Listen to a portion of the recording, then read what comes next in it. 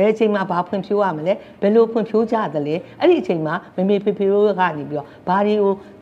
ကိုကနေပြီးတော့ parenting လုပ်သွားနိုင်တယ်လေ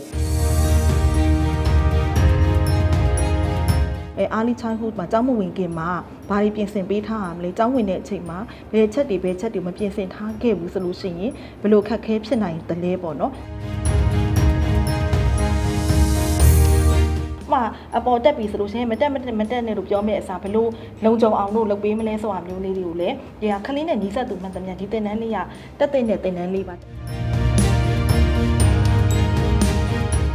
ဒါလေးသင်ပြီးသွားပြီဒါနဲ့ပတ်သက်လို့ဘာလေးများရသွားသလဲရတဲ့ရထိုက်တာလေးတွေကိုမေးခွန်းလေးတွေမေးမယ် yes or no လေးတွေဖြေမယ် circle လေးတွေဝိုင်းမယ်เนาะဟို true false လေးတွေနဲ့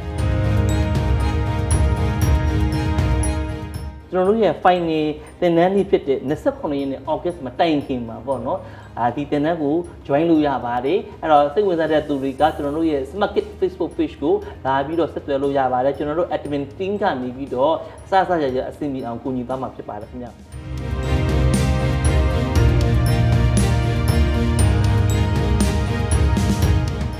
CFM, caring for well-being.